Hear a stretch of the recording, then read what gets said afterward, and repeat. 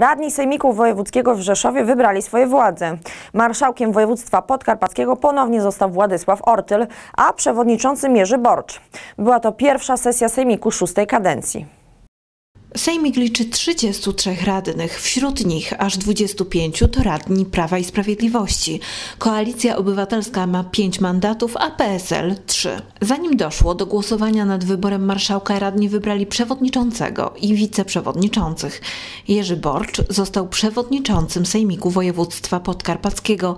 Jego zastępcami Jerzy Cypryś, Teresa Pamuła i Czesław Łączak. W tajnym głosowaniu radni zadecydowali, że Władysław Ortyl ponownie będzie pełnił funkcję marszałka województwa podkarpackiego. Marszałek Ortyl wybrany został 25 głosami przy czterech wstrzymujących się i jednym przeciwnym. W zarządzie województwa zasiądą jako wicemarszałkowie Ewa Draus i Piotr Pilch. Na członków zarządów województwa radni wybrali Marię Kurowską i Stanisława Kruczka. Gratulacje nowo wybranemu marszałkowi złożyli radni i obecni na sali parlamentarzyści. Tuż po głosowaniu marszałek Władysław Ortyl oraz wicemarszałek Piotr Pilch spotkali się z dziennikarzami.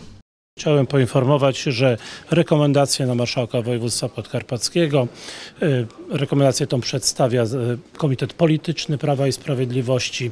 Naszym kandydatem był pan Władysław, marszałek Władysław Ortyl i wybór jego świadczy o tym, że te decyzje były bardzo dobre. Panie Marszałku, gratuluję, świetny wynik. Chciałbym Państwu przypomnieć, że tylko jedna osoba była przeciwko wyborowi pana e, Władysława Ortyla. Chciałem powiedzieć, że niewielkie zmiany w zarządzie wynikają nie z tego, że jest zarząd był źle oceniony, wprost przeciwnie, ten zarząd dotychczas funkcjonujący pod przewodnictwem pana marszałka uzyskał bardzo wysokie noty, bardzo wysokie, e, został bardzo wysoko oceniony, e, a pewne zmiany wynikają z z otwartości na płeć piękną. Chciałem Państwu powiedzieć, mamy, e, chcemy, żeby udział kobiet w ogóle w polityce był większy, e, zauważalnie większy, dlatego też te niewielkie zmiany. Chciałem pogratulować panu marszałkowi wyboru i jestem przekonany, że ta rekomendacja jest bardzo dobra i Prawo Sprawiedliwość pod kierownictwem pana marszałka będzie dobrze realizować swój program i program dla województwa podkarpackiego. Marszałek Władysław Ortyl przedstawił dziennikarzom zakres spraw, którymi zarząd będzie zajmował się w tej kadencji. Nasze działania będą wynikały przede wszystkim z kontynuacji tych działań, które podjęliśmy mm, już w ubiegłej kadencji. Dziś oficjalnie trzeba tak e, mówić. E, oczywiście także będziemy realizowali, wdrażali te zadania, które wynikają z piątki dla Podkarpacia. Najważniejsze obszary, którymi będziemy się zajmowali to jest zdrowie, środowisko, sprawy infrastruktury, rozwój gospodarczy, społeczny, przedsiębiorczość, no i oczywiście także turystyka wraz z nową z nowym hasłem promocyjnym wspieramy wyższy poziom innowacji. Chcielibyśmy, aby te nasze dobre wyniki, które mamy, jeżeli chodzi o wdrażanie wykorzystanie środków europejskich, te wyniki, które poprawiają na statystyki naszego województwa, były w dalszym ciągu podtrzymywane.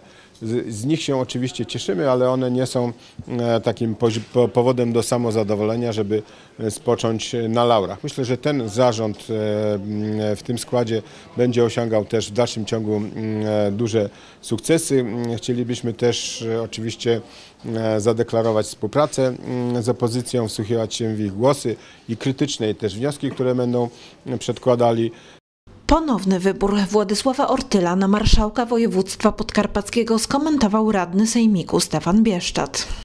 Myślę, że wynik e, wyboru na marszałka jest e, z góry, czy był z góry przewidziany. Oczywiście to jest niekwestionowany lider e, nie tylko ugrupowania, które w sposób zdecydowany którego się wywodzi, ale jako lider na Podkarpaciu, biorąc pod uwagę jego osiągnięcia gospodarcze i doświadczenie w kierowaniu tym województwem już zresztą w poprzedniej kadencji. Podczas pierwszego sejmiku wybrano także przewodniczących i składy komisji.